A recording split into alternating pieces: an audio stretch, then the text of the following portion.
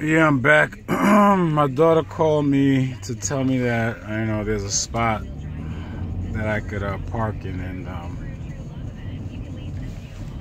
you know, I guess I went over there to check it out to make her feel, you know, like hey, I'm listening to her and make her feel good. But there's no spot. It's by a hydrant, man. Like, anyway. So the other part of what I was saying, um, let me go back to the spot I was originally trying to park it. The other, so yes, um, specializ specialization or efficiency, I should say. Um, it's an interesting topic to look at because um, a lot of us don't understand what it means to be efficient in something or what efficiency is about, you know, including myself. And you know you get frustrated because you know you don't have things lined up the right way you know? Um, you, you, just can't be good at everything man. That's just how things work i think. You can't be good at everything. But uh, and you got to understand that you know because sometimes when someone is not doing something you want to you might get mad at them or think they're lazy or this and that you know, I don't, I don't know. Even the most successful people, do they spend 100% of their time doing something? Maybe they do. Maybe those people are like, um,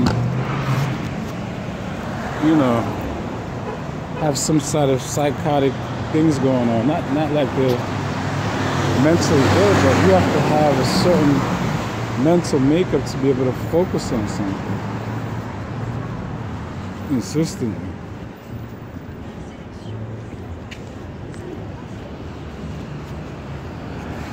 So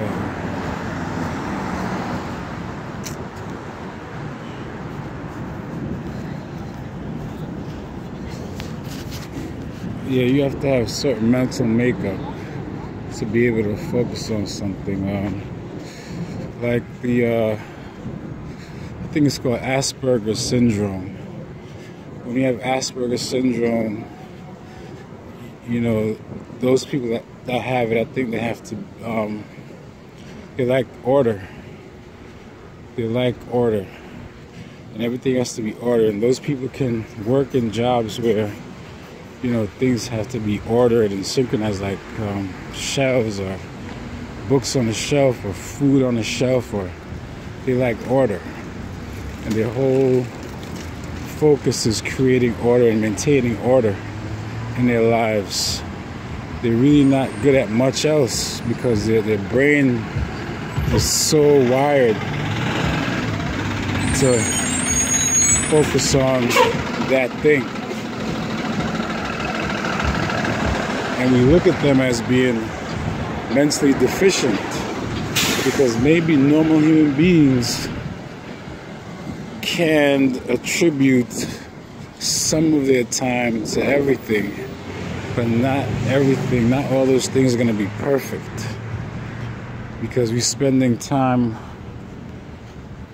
on many different things in our lives, so something is going to be neglected. Or some, it's not all going. It's, it's not. It's not going to be as good as it could be.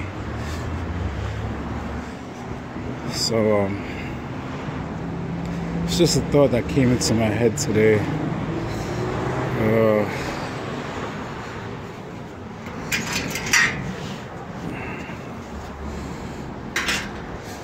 for specialization and um, efficiency. Something I need to work on.